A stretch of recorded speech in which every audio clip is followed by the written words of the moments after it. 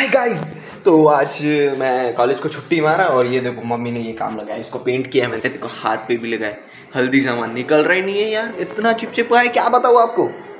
और ये पेंट साला एक घंटा लग गया, मेरे को लगा आधे घंटे में हो जाएगा, पूरा पेंट करना पड़ा ऊपर से नीचे। अभी चमक रहा है। चमक रहा है, मस्त एकदम चमक रहा है।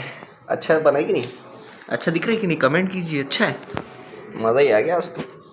पेंट करने में को लगा दस पंद्रह मिनट में हो जाएगा। एक घंटा लगा पेंट करने में। तो वो भी चिपचिपा सा निकल रही नहीं हाथ से, इसको कैसे निकले, आपको कुछ पता है सोल्यूशन तो कमेंट कीजिए।